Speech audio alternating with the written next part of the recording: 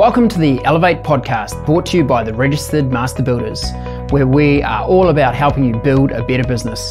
We explore the ideas and practices that help us get the best from our businesses, teams, and ourselves. I'm your host, Ryan Castle, along with Dr. Mike Ashby. Each week, we talk to experts, advocates, and business owners in the construction industry to share their knowledge, insights, and experiences to help you build a better business and enjoy a better life. In addition to the podcast, the Registered Master Builders Elevate is also an online learning platform hosting courses, programs, and content that help construction business owners and their staff to build a better business. Now let the business building begin. Hi there, welcome along to this episode of Business Leader Breakthroughs. On this episode, we're going to bring you insight from one of our members, Darrell Trigg, the owner of Trigg Construction. Look, we bring you insights from people that have been at the front line of business ownership uh, so we can share in their uh, knowledge find out what's made them successful and gain insights and that we might be able to transfer into our own businesses. Look, Darrell is, in addition to being the owner of Trigg Construction, is also the national president of the Registered Master Builders Association. And in this Q&A interview that I did with him at a recent workshop, he gives us some insights on things like the importance of personal goals, why he feels like lugging 20 kilos of equipment up the world's highest buildings is a really good thing for him to do his view on the tendering model and why he thinks it's flawed, how you should get your fair share of the work even though you might predominantly operate in a tender environment. He's also been involved in acquiring one of the biggest construction projects to hit the Northern region that is going to have a huge impact on the community and also the tourism in the in the region. He talks to us about why focus in business is so critical. If you try to do too many things, you can fail. How he chose his focus and the outcome that has been for him. And why being non negotiable on your values is such a success driver in business. Now, let the breakthrough insights begin. We've been connected with Darrell via our program for a little over a year. Mm. Yeah. And we've found you know, really great alignment with how Darrell runs not only his uh, personal aspects and views on life, but also the uh, business view as well. So I thought maybe in terms of uh, getting uh, the audience to know you a little bit more, Darrell, let's start with the personal. You know, one of our mantras at Breakthrough is the health, family, and work. Yep. Give us your insights. How do you think about the, the health piece and what are some of the personal goals you pursue? Yes, so thanks very much. So we've got um, a small construction company up north, but um, my um, I've got uh, one daughter and my wife who's in the business, who's an integral part of the business as well. And um, one of the things that you know many years ago we don't do uh, residential anymore, but many years ago I did a job when I was on the tools. Um, it was seven days a week, just on a promise that someone was going to get these guys in I was labour only and I worked I worked seven days a week for however long to get it done and worked out that I was getting three bucks an hour but I lost I didn't know what day it was or never saw the kids or whatever. So from that day forward one of the values that we've held true in our business is no Saturday work no Sunday work. So all of our projects however long we program them on a five day week. Um, yeah and then um, you know like a bit further on I suppose with the with the personal stuff and the health and that probably three or four years ago, I was about 10 or 15 kilos heavier, and I've been in the fire service for as a um, volunteer firefighter for about 30 years now, and um, I was quite a bit heavier than I am now, and and um, I uh, firefighter stair climbing. So this Saturday is the Sky Tower, which raises money for leukemia blood cancer. Um, I, my brother had been going for two years to New York to climb Three World Trade Center, and uh, so I sort of said to him, well, how can we get in on this? And um, oh, I said, can he get me in? Because he was good mates with the guy who started up. Said, yep. So I just got straight off the phone, bought two tickets to New York for Marlene and myself, and um, that's where it all sort of started in earnest. Um, so we just, you know, and for me, it, it's it's really important because what it does it, is it keeps me going back to the gym because if you want to climb stairs and you don't do any work for it, um, you just get hammered. Um, Things so, get ugly very quickly. Yeah, yeah, yeah. yeah. How much um, how much gear? So when you climb, a you're in full firefighter. Yeah, kit? it's about they around about twenty kilos worth of right. gear, but it's right. more the heat. Like last year, it was fifty degrees C in the tower. It was the hottest day in New York in six years, so it was pretty tough. But we just come back. Um, on the 4th of May, we climbed through World Trade Center and then we flew up to Calgary and climbed the Bow Tower in Calgary on the 5th of May. So it was, yeah, it was pretty cool. So World Trade Center, how long are we talking? How long is the? Um, it's twice the height of the Sky Tower, so it's um, 80 odd floors or something. take? Yeah, And how long does that take? uh, took Ish. 33 minutes or something. Yeah, Yeah. And where's the where's the um, where's the dark zone when you're doing that? Is it like if you're doing 80 floors, are you you know you get to 15, 15 floors and everything's burning and you're getting hot and you're like, whoa, how do I how do I keep going? Where's the where's the zone where it's a where it's most challenging? before you start. Right. No, no. It's look. I, I think it's the, the what I've adopted with it is they're just stairs, and if you keep climbing, so a lot of guys, you know, like we were climbing the Bow Tower and the, no, the World Trade Center, um, and there was these two young, probably 23 year old kids that had a air pack on, but they were paramedics, so they were in in civvies and that. And I got the flu. I got the flu just before we climbed the first one, and we were sort of hanging out. But they stopped, and every five floors I caught up with them. Right. You know, so all we do is just so my strategy is just get to the next landing and just mm-hmm. get to the next landing. Yep, If you look at the that stairs, that beats you. Yeah. Right. So yeah, so it's just get to the next landing and get to the next one. If you do that enough, they stop turning up in front of you. Mm-hmm. and why, why do you why do you keep going back to it? Um, because I enjoy it, because of the people, and because it keeps me fit. Mm-hmm. You know, it's a target that we do probably about. We've just done two. There's another one this Saturday, and then probably two more for the year. So one in Sydney, one in Melbourne. Okay. But I mean, to put it in context, I'll do the Sky Tower this weekend in probably 17 minutes, and the fastest Sky's about eight. So And firefighter kit. yeah, in full Yeah? kit, yeah, Wow. yeah. Wow. I'm not So- fast. I don't. Yeah, yeah, yeah. Getting it done. yeah, Getting it my done. strategy is survival. Yeah, nice. And is there any other aspirational towers for you around the world that you'd like to like to climb? Yeah, yeah. The, well, the thing is, is that the the, the the stair climbing thing is probably like a lot of things, and you know, um, around they're all over the show. So we can go to um, New Orleans. You know, there's all sorts of places you can go. But the the ultimate, I suppose, is the World Trade Center. When the two World Trade Center towers came down, they were 110 floors. So the idea is the firefighters that are climbing up, they're actually just climbing up to go to work. So they're carrying hose packs and all that, plug them into the floor and start work. So ultimately, 110 would be the goal. Right. You know, that's that would be the ultimate because that's what the twin towers were. Yeah. So the Yeah. Mm-hmm. one world trade's 110 floors. The others are about 80, 72, whatever. Mm. Yeah. And tell us about the camaraderie of the firefighters. So you're, uh, I assume there's firefighters from all around the world travelling to these to Yep. these events and connecting. Tell us, tell us about that. Yeah, so it's it's you know I don't know whether you could call it one of the world's biggest clubs or whatever, but you can pretty much go anywhere as a firefighter and, and sort of knock into someone and say g'day. Um, You know, we sort of called in um, with the with the World Trade Center climb. Yeah, there's 343 firefighters that died when the Twin Towers came down. Um, the first guy that actually died was hit by someone falling from the building. Um, but the so there's 343 of us that climb, and you climb with a Right, tag for right, someone. right. Yeah, Wow. so it's pretty cool. Yep. You know, it's, It's pretty cool. But connection right there, isn't you it? just meet. There's people from. There's even some Aussies there. There's um.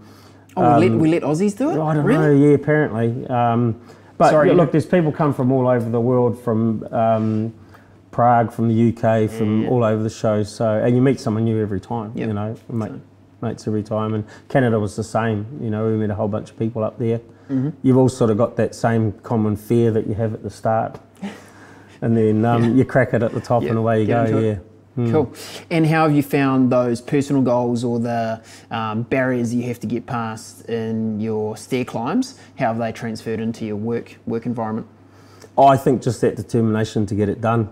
You know, that it's sort of, it's, I'm a bit more of a big picture thinker, but um, the you know the discipline of getting stuff done has helped out. Yeah, Yep, chunking stuff down, finding Yeah. the next landing essentially, Pretty finding much, the next landing in the in the business Yeah. world as well. yeah, absolutely. Okay, Darrell, give us a bit of uh, background. How did you start in construction? Give us a little bit of insight into the journey so far. Yeah, so uh, I basically did my apprenticeship in Whangarei um, with a local company who did commercial and residential, and um, and yeah, sort of really enjoyed that, and um, and just went out, basically went out and did labour only carpentry for a house building company, and then sort of went from there. Really, we just started doing stuff, and I try and do. I've never ever really wanted to do things, you know, like we got out of the we were in the yellow pages for a while, but I've always wanted to be different, not be in a pack. So w when we were in the yellow pages, I was the first one to put my mugshot on there, which is probably not a good thing for a business, but I did it. But we were always the first pers-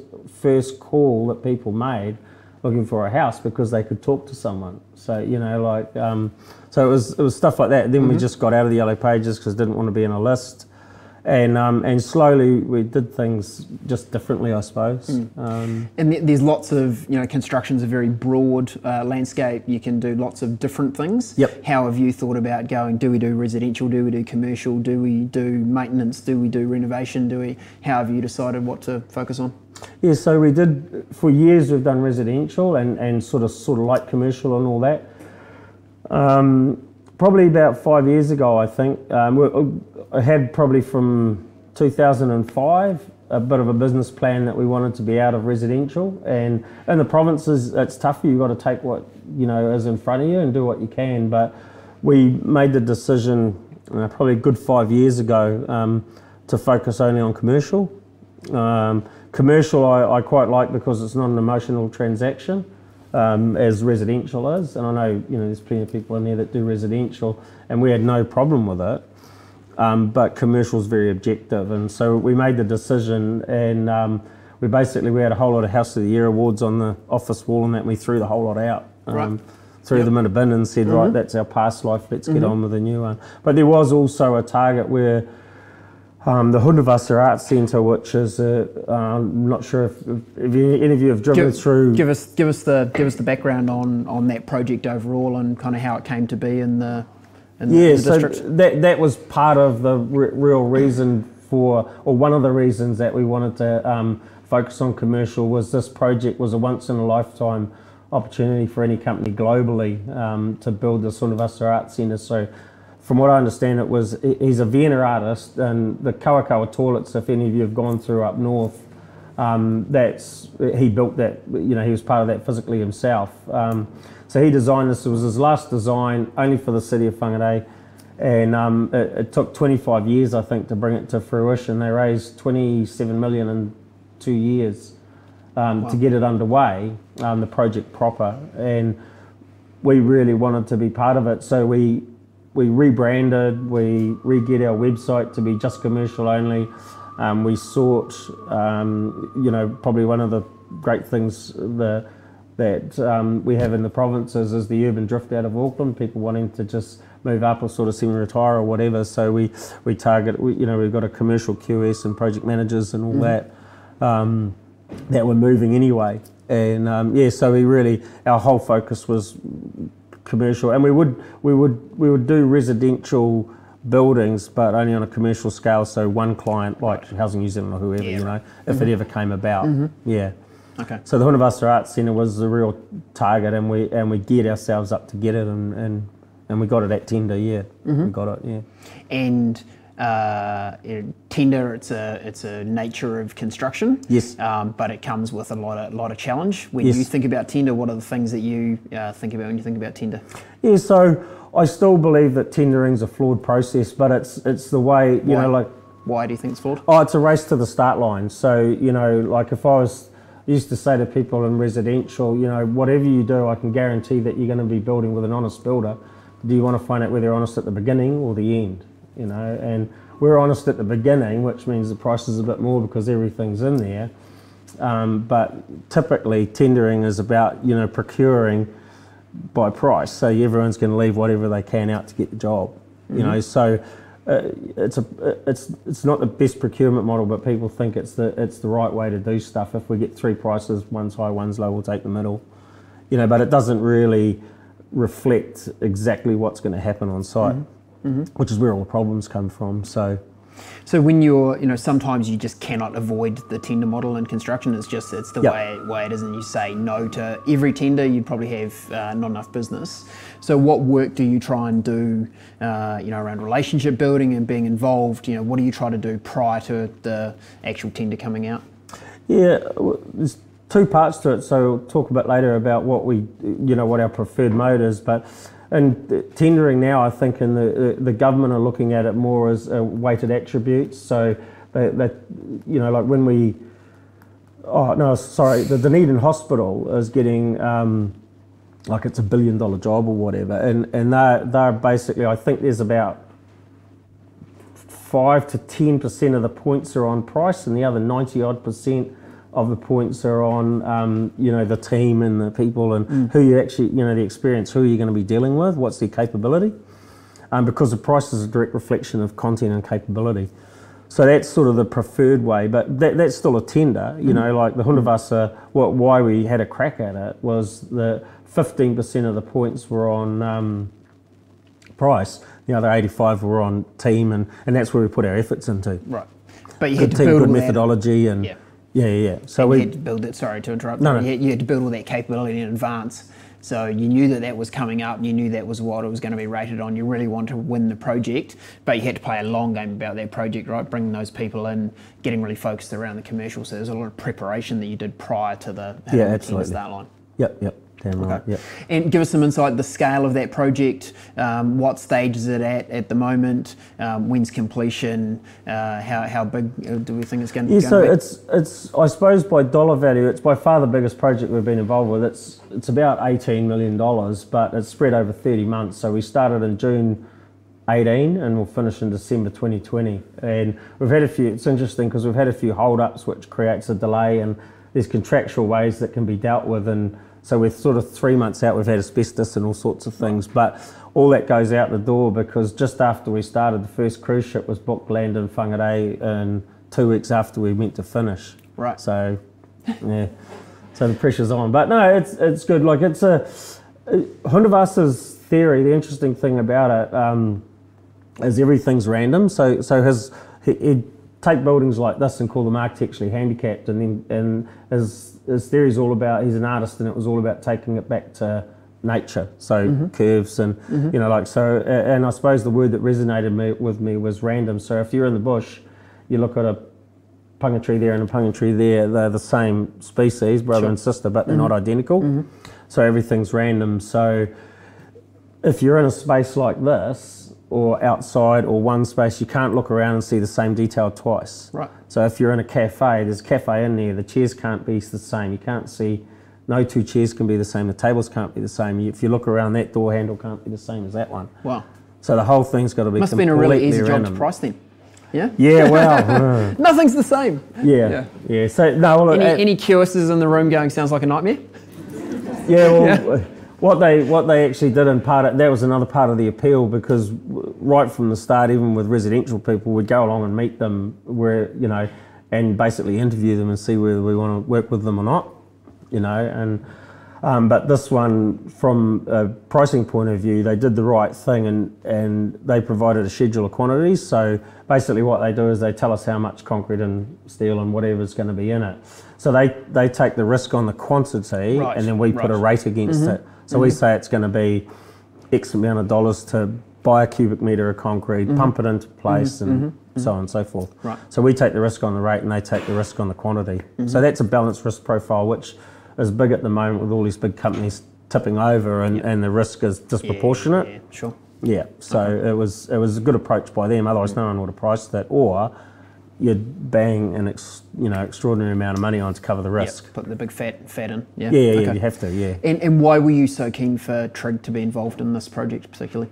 um, it wasn't so much a recognition. No, well, it was, I suppose. It was, but what it in the provinces, you don't often get the opportunity to demonstrate capability. Mm-hmm. Okay, so um, there was a $10 million uh, mental health unit at Whangarei Hospital that was built. Mainzeal built it.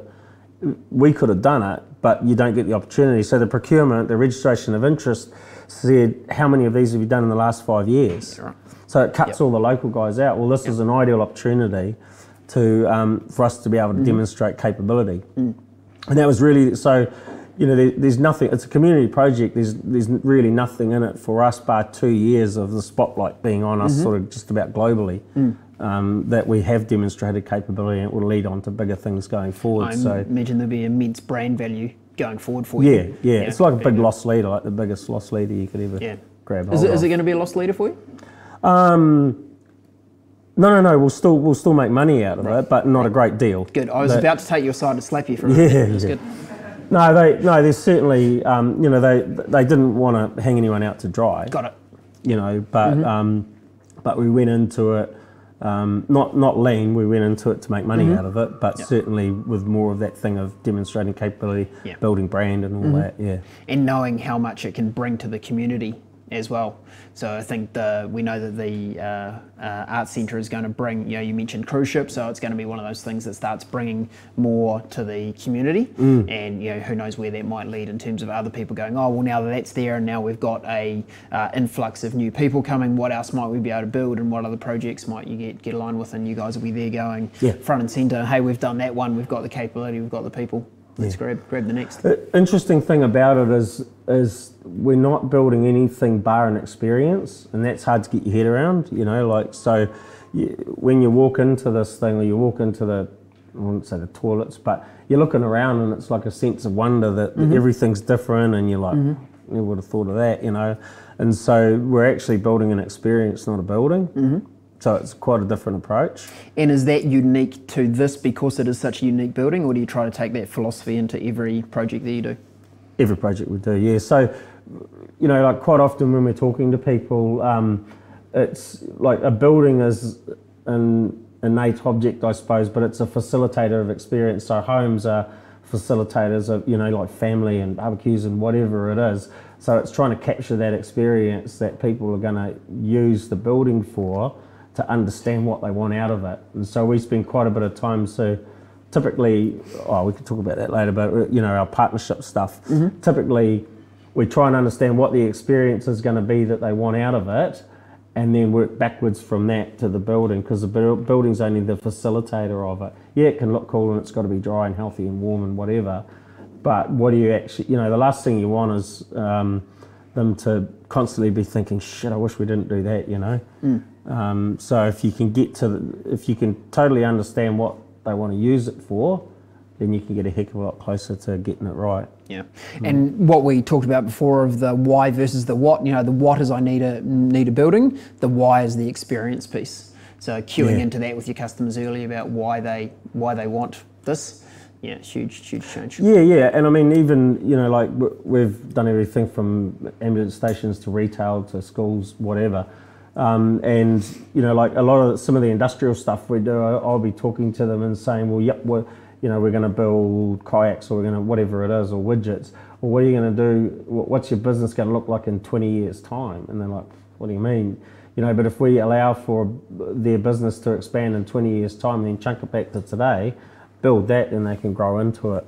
You know, so it's sort of yeah, looking that far ahead and helping them out. And we've even rejigged businesses. You know, like a manufacturing. Uh, aluminium boat manufacturer wanted a horseshoe shaped building and I said well if you get a real long one it's simpler to build more cost effective and you can just go in and out of each bay like that and he said that'll work perfectly Right. be a hell of a lot easier than Yeah, what we yeah. got Yeah, totally. yeah yeah so just understanding what they want without telling them how to suck eggs Mm-hmm. a building can create all sorts of different ways of doing stuff Nice. so that's sort of what our focus is yeah Okay.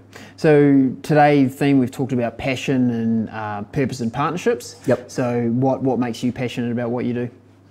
Oh, I just think that the the delivering the results that people are after or exceeding them is is the most important. But it's more the experience. You know, it's more the experience because I know that the way the par- the partnership model or whatever that we use, non-tendering. You know, like tendering is you can still do what we do and meet the Public Finances Act test. It all it all stacks up, you know. So I think um, you know there's plenty of people I know very well. There's plenty of people I know that we've missed out on the work, and they said, "Geez, I wish we had. A, I can see what you were talking about now. It's too late." Right. Yeah, yeah, yeah. You yeah. know, so we're acting in your Yeah. best interest, Yeah, and I think yeah, yeah. you know the industry's been pretty good. Um, the construction industry's had a few shysters in it, which makes people gun shy. Mm-hmm. You know, they think they're going to get ripped off, and, and there's quite a, well, a few that have done that, Yeah. and it hasn't helped. Yeah. You know, so Uh, So, so starting off the relationship with how can I screw you down the most, that doesn't build a great relationship to start with?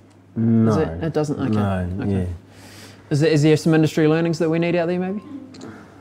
Um, so, Darrell, tell us about your partnership model and how you think about partnering with people.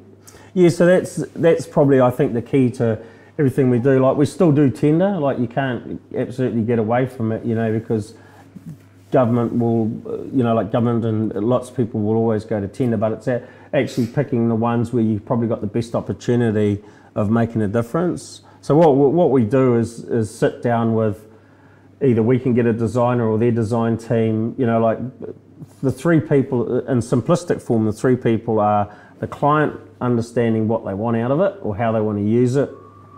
Um, the consultants and the design team manage compliance as far as I'm concerned, and from our point of view, we're the ones that do buildability and operability. So we're the ones that, you know, like the last, because if a building goes up and it leaks, they don't call the architects, they'll call us.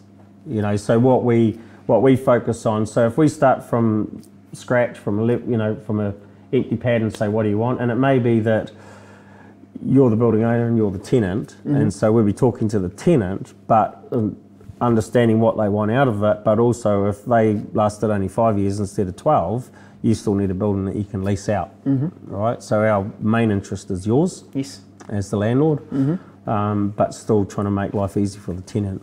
So, but but you know, like so the so the partnering thing is partnering up with all these people and. Um, and starting from scratch. And, and as we move through the process it's it's quite deliberate in its steps so nothing happens and not money doesn't get spent where you know until they sign off all the way through. But you, you solve all the problems. So if you're talking with the design and compliance guys the builders and the you know all that and the client you're solving all the issues. So by the time you get to actually getting it down on paper ready for consent and all that and building mm-hmm. it most of the issues are gone. Right. You know, So, it's really the collaborative approach is what's what's most important in that partnering model. Absolutely, absolutely, and it and it manages a lot of the risk and all that. So you know, And do you get resistance to that? Do you get, um, you know, designers or architects coming in going, "Hey, buddy, you're just going to build the thing. Just like get back in your spot, and we'll we'll handle this." Yeah, absolutely. And how, how do you deal with that? oh, I think it's trying to help them understand what the outcomes are. You know, like the, the benefits of doing it are huge, um, but it's a hard sell. It's a real hard sell. You know, we've got. Um, a key client that we've got up north that we just keep building buildings for. You know, they've got an, an extraordinary amount of land, and um, they need to put buildings on, and we're right in there helping them out, and they know the value of it. You know, They truly Um, see you as a partner, not as a construction company. Yeah, yeah, absolutely, absolutely. But you know, like um, at the end of the day, with uh, with a lot of the architects and all that, they they do talk it, but not a lot of them walk it. You know, which is frustrating. But it's a real hard sell, and we'll we'll walk away from it. You mm-hmm. know, rather than take a project on if they don't, you know, yeah, if they don't want to be part of it. Mm-hmm. Because it's ju- there's just going back to how much risk there is involved for us as a company Yeah. um, you know, all the problems arise once you're on site and you start figuring them out, mm-hmm. you know. But if you can do that together, all sitting around a table, it makes a heck of a difference. Okay. Yeah. So, what's your genius in the in the business? You personally, what do you bring to the table? Um, I think uh, the the big picture thinking definitely. Um, you know, we've got we've got a small team. We've got there's six of us off the tools, um, and so the the way it's sort of structured is we've got the site guys and site managers, then we've got project managers that look after the site guys, and I look after the whole lot. So, and it's about troubleshooting. So I sort of troubleshoot the project managers' problems. They troubleshoot the site guys' problems. You know. So, um, but yeah, no, definitely the big picture. th- We've got a QS. Um, David, I think, in our office, he gets pretty frustrated with me because he's, you know, extremely good at his job, and um, and but I think QS thinks a bit different to big picture thinker. So I'm all over the show, coming up with great ideas and all the rest of it, and frustrating the heck out of him. But Is, any, is anyone uh, feeling in alignment here with maybe some of these relationships that go on in the office? Yeah, Christopher, thank you for being so honest. Kieran, we see the look on your face.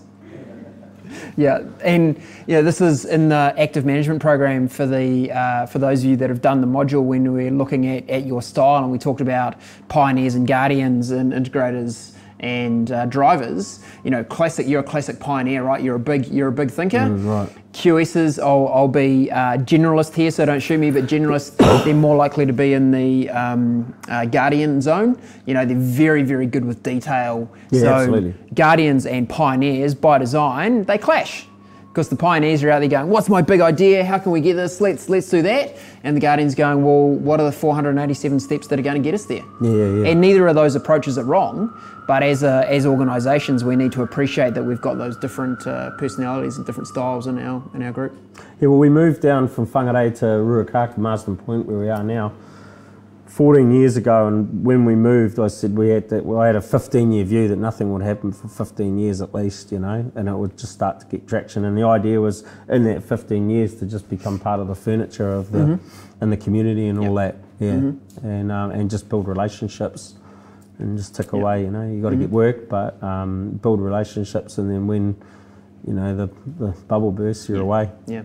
And building relationships is one of those things that we all go, oh yeah, got to build relationships, got to network, you know, do all the do all these things. Mm. What does it actually look like on a week to week, month to month basis for you to, to build relationships? Um, it's actually um, about like holding your hand up and doing, you know, like doing stuff. So I'm on the local economic development group and all that sort of thing. So it's it, it's getting into places that give you opportunities that you wouldn't actually normally get access to.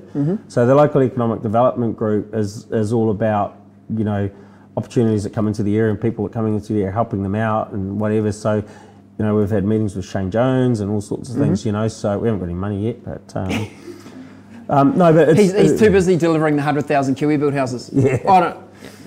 Yeah. So um, yeah, so it's definitely about um, going and doing that things, getting into areas that you you know like there's chamber of commerce and all that sort of stuff. But I think um, local, you know, our focus is pretty um, relatively narrow um, in that area. We're sort of trying to defend it with all we can. Yes.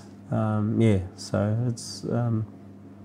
There's, there's all sorts of groups that you can get on, but it's mainly that and, and, and just getting out So it kind of looks like hard work, right? Because Yeah. you know the uh, offering offering your time to those kind of things. They're very really paid uh, positions. Um, takes No, a lot of time. Yeah, it takes a lot of a lot of time and effort. So it actually looks like hard work. So building relationships is not just something that happens by accident. It's being prepared to go and put the time and time and Yeah, effort. in. and it's it's got to be deliberate. You've got to do it in a reasonably organised way, you know, and and sort of just keep in touch with people without annoying the hell out of them. You know, keep in touch with them on a regular basis, which um, I sort of do and sort of don't. But um, yeah, Yep. yeah, Okay. it is Okay. hard work. How do you think about the partnering with your subcontractors? Obviously, a big part of construction. How do, how do you think about the partner model with them? Same deal, same deal. So we get them on board right at the start and um, and just work through stuff. So we've basically got a key set of subcontractors that we work with, and um, you know we're fairly disciplined about you know stuff like health and safety and all that. Um, I think we're probably one of the more disciplined ones up north. Um, we've got some pretty high standards and we stick to them. And I think that's one thing that we've said to the guys right from the start is if you if you say you're going to do something, do it. Don't don't back out on it. You know. Um, Don't, health- don't have half an integrity circle. yeah, yeah, absolutely. Yeah, yeah. Um, health and safety's a, a tough gig because it's so subjective. Um, you know, in the construction industry, what what the WorkSafe guys say is something, and someone else will say, and there's all these independent consultants and all that that do a great job, but it's so subjective. There's Yes. no real hard and fast rules. There's a new sort of term they've got on what's reasonable. You know, and Yep. What does that mean? Yeah, yeah, yeah. Yeah. And that's the, the one that's always been uh, a challenge for me when they talk about uh, law. You know, was it was it reasonable cause or, or whatever? And you're like, oh, it's open to interpretation in a big way. Yeah, that's right. Yeah, yeah. okay. so. What does what does success look like for you, both personally and for the business? How do you how do you think about and measure your success? I, I suppose um, personally, it's just spending time with the family and, and doing stuff because um, with Karen, you know, we've, we're on the um, directors of Registered Master Builders as well, so there's all sorts of other things. For me, that's personal development. Um, you know, really enjoy that environment. Uh, learn lots from some pretty clever people. Um, so success personally, I think, is getting the right amount of time off. As I said, we, we only program our Yep. um, Five days. projects Yep. five days, but we don't even go into the office on the weekend, you know. Mm-hmm. Um, so, um, and and I think b- business success, we, you know, our, our our exit strategy, I suppose, for the business, it's we're, we're sort of looking at maybe getting someone in eventually, but it's it's our name on the door, and I mean, our goal is really to use it to create a passive income over the next sort of ten years or whatever. Mm-hmm. Um, and then we can step aside whether we can get someone in or not. But Yes. um, but you know, I think the development of the guys, you know, we've just taken on a new project manager, Mm-hmm. um, fantastic, you know, um, individual, and he, he's sort of a month in, Yes. and you know, really stretching us as well, and that was the whole idea. Yeah. Great. You know, take us Hired to the next for uh, level. capability, not capacity. Yeah, yeah, absolutely. Yeah. Damn right. Yeah. Spot on. Um, guys, I'm going to ask uh, any questions from the floor shortly, so get your uh, get your questions ready. Um, what's been a breakthrough for you personally? You know, if you, think about the, the time, you know, I'm uh, open to it being a, a personal insight or a, or a business one. What's what's been something a moment that you feel like's been a breakthrough for you? Um, I suppose personally, it was when I got stuck into the stair climbing, Mm-hmm. and you know, had to lose quite a substantial amount of weight over a short period of time to get Yeah. into it, and then reasonably, reasonably well held that. Yeah. Yeah. And, um, So how, how close are you to your racing weight at the moment? uh, about a couple of kilos Yeah. off, yeah. Right. So So the the walk up the sky tower will uh, take care of that, won't it? Drop a hope couple so, kilos. yeah. Hope so, yeah. Yeah, but I mean, gear on, all that heat. you know, like everyone wants to be a bit lighter, but I mean, I'm quite happy to climb up as I am. But Yeah. you know, um, Yeah. if you put a bag on your back with five kilos in it, it'd be great to take it off just as easy. Yeah. It's like all these cyclists that go out and spend another uh, 20 grand on their carbon fiber bike, so they're like their bike's 200 grams lighter. like, Yeah, dude, yeah, just lose a couple of kilos. Yeah, exactly. You'd be able to ride your LA20. Be way Yeah. better. Okay. And I think um, from a business perspective, without sounding like an advert for you guys, um, No, go on. Uh, um, the uh, Britta, the, our business coach, is mm-hmm. fantastic. You know, mm-hmm. she's helped out uh, immensely, and you know, even just lately employing this guy. How do we go about it? You know, what, mm-hmm. all that sort of thing. So just that third party look in's been fantastic. So that's been really, really helpful. Brilliant. Mm. Good to hear. Alrighty, questions from the floor. Come on, people. Here we go. So you talked about, you know, the motivations that you have for taking on the big arts projects and Yes. things like that. How's that affected you guys and their motivations and their morale? Obviously, construction, you have difficult moments through your projects and things like that. Do they buy into that, um, into that sort of being motivated by that type of project and things like that in the long term?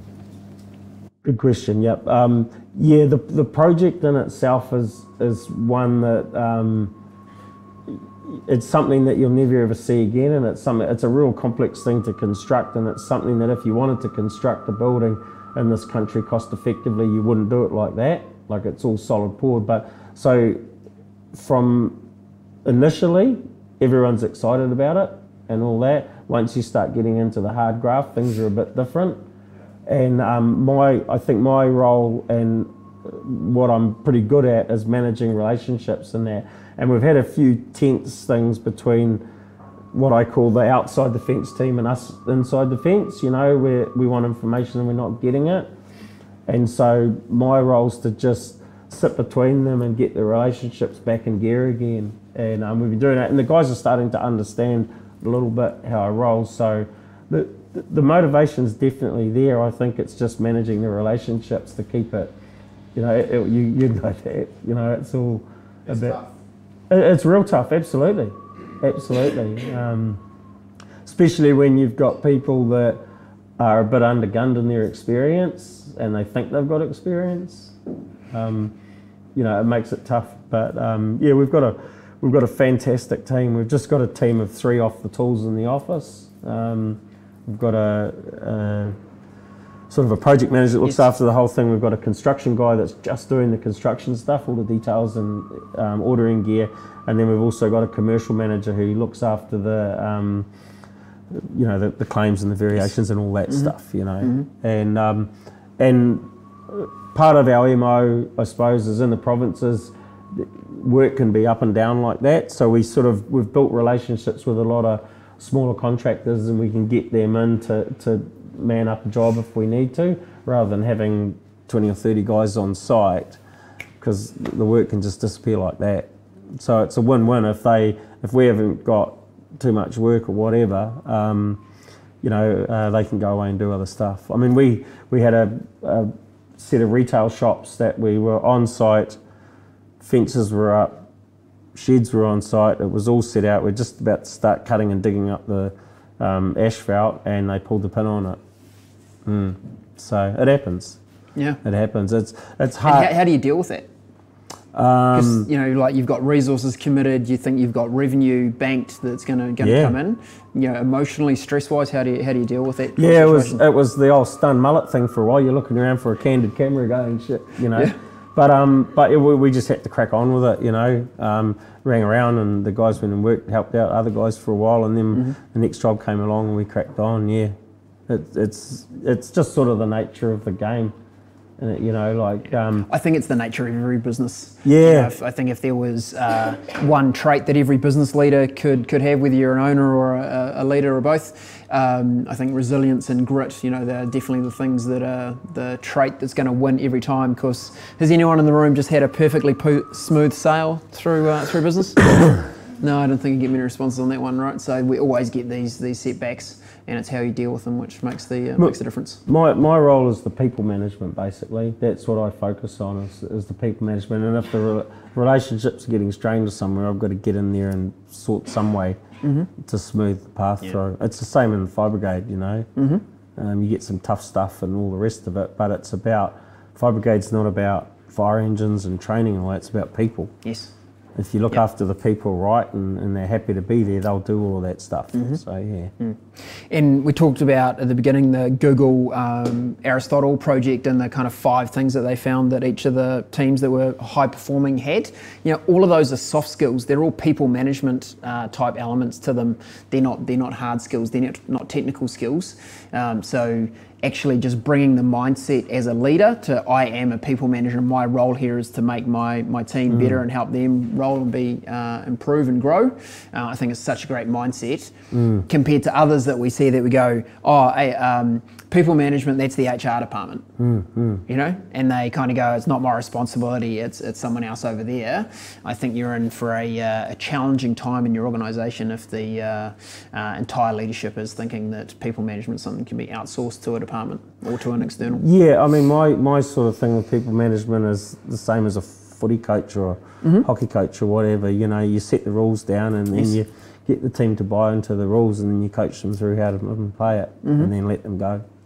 You know, I think Yeah. one of the things that I, I one of the things that has really worked for us is actually trusting people to do a job and then let them do it without micromanaging it. And you, Yeah. you know, I've been really surprised at the results um, you know, people have really sort of flown ahead because certainly our key, now our key um, site manager, the construction guy on this project, he was one. He just said the one thing that he likes about working here is I leave him alone. You know, if he's got a problem, he rings me Yep, and we sort, we'll it, out. Yep. But he manages the program and mm-hmm. all that sort of mm-hmm. stuff. Let him do his job. Mm-hmm. You know, so yeah, Yep. Very, very works important. really well. Cool. Any other questions from the from the floor? This is like the once in a lifetime opportunity. the heavy hitter from Whangarei here. And you guys, you know what you're all going to do, right? You're going to be driving, driving away. Going, oh, I know what I should have asked Darrell. Darrell, that thing. Look, Go on, Shona. One of the things that we're looking to do as a company is um, we're looking at our values. Um, so hear about what the values are um, for your organisation and how do you bring them to life? So it's more than just a laminated sheet that sits in front of your computer. How do you breathe life? How do you bring it to life so they're living it every day and it's not just that laminated sheet? Oh, we've done our values and we've laminated it now. So how, how do you bring it to life? Tell you what. Tell you what. Um, the if you make them outcome statements, because a value is not a value as a word like integrity or whatever is just a word, and it's like. But if you make them outcome statements like doing statements, um, then people can actually buy into them.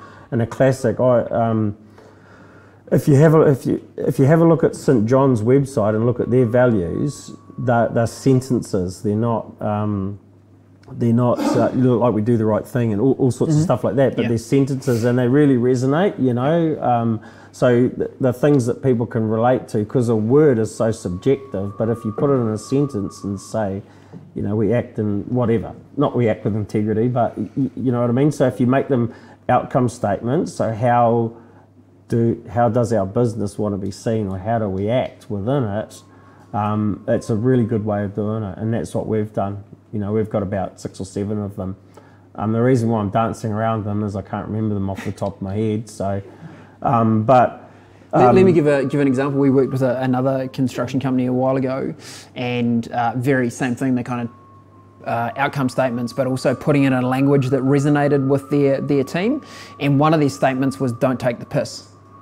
And it uh, resonated really well with the team, and it was language that the guys could use on, on site. So if someone was going, oh, I might just take those couple of bits of uh, 4x2 home for the weekend because I've got a bit of a job that I'm doing at home, someone else had language to go, hey mate, it's taking the piss, like that's actually not, not yours. Go down to the go down to the yard and buy your own. So I think getting them into a language that works for your your team is, is really useful as well. The, the fire service have just gone through a massive review and they're starting to have amalgamated a whole lot of people and they had a set of values which were just words. And I put a submission in which was I said look at St John's. I used it as an example. I said they're actually sentences that are relatable and mm. you know anyone at, at any level of the organisation can look at it and go yep I get that and um, they took it on board and they've implemented it. So um, yeah so I found them really really good and that's what that's what we've we've we've come up with our own but yeah making it more of a a, an outcome statement or an activity statement that you can buy into is a heck of a lot easier. So how, how, do, how do we, you know, and this is a kind of question for everyone, um, probably all of us have either in our own organisations right now or previously we've been through some kind of values uh, situation. How do we keep them alive? How do we stop them going that, oh yeah, they were so good, we got them sorted, we love them, they're brilliant, six, seven statements, job done, awesome. How do, how do we not make they? sure they don't get, get, um, get dust on them? Because what's the importance of values? Why do we want to align? Because we want to live them, right? So how do we make sure that we live our values day to day? How do we keep them alive? So is this, ah, nice. Well, no, because I was just going to say on St. John example, I know the person who put those values in place, and I think part of it started not just having values, but what they did beforehand when they got focus groups and they got key people within St. John, and not just managers and people that are trip, but right across the business involved in terms of um, ideas around what values could look like. Then it went out, so we love to consult uh, to wider organisation, came back, and so there was a lot of um, buy-in before, you know, posters went on the wall, I guess, so to speak. Um, But it but was a long project, it took Yeah, months. yeah. I think they just make sense. Yeah, yeah. They're really simple and they make sense. yeah. Mm. But I think, yeah, to, in, you know, keeping them alive, it's often people will do some sort of recognition or reward around them. Um, so if you're wanting people to live the values, then you're asking people to be seen to be doing that.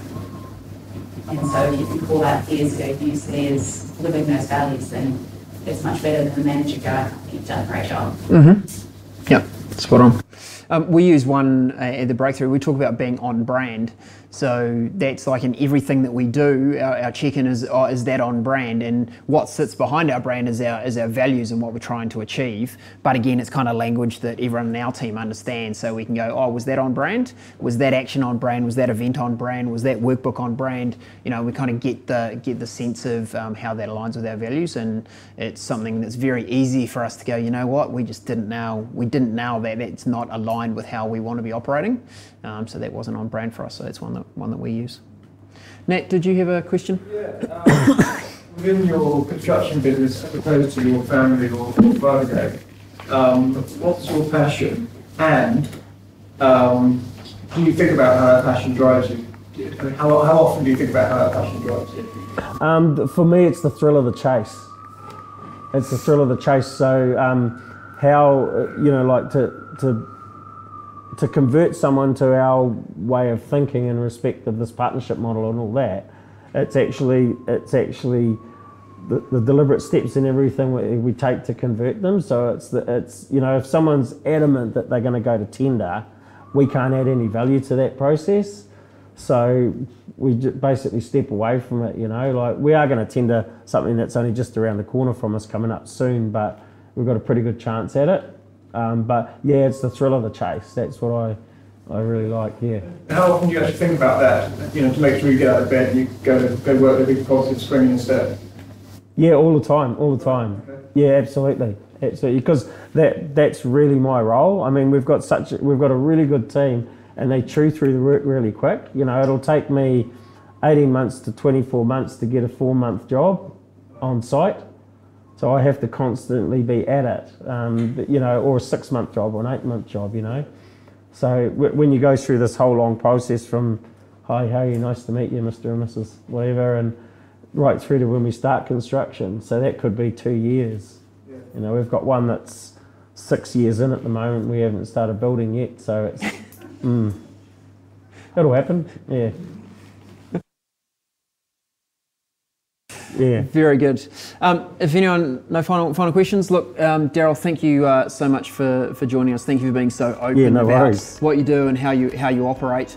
Um, I know some really good insights for me, and uh, I just want to thank you as a member of our community. You bring such uh, positivity to, to what we do. Hmm. Your attitude is amazing, and your willingness to uh, listen to ideas from outside your organisation, then take them on board and implement them is just just brilliant. So thanks very much. Give me. No yours.